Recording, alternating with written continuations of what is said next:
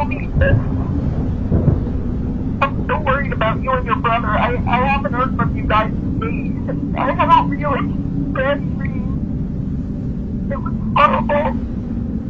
It was really, really sad. Please call me. I'm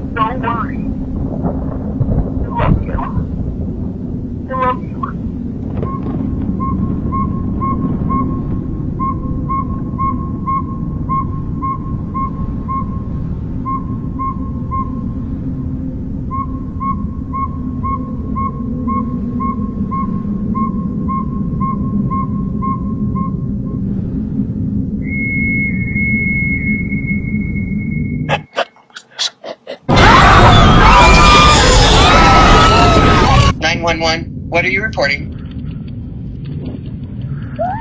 Can you hear me?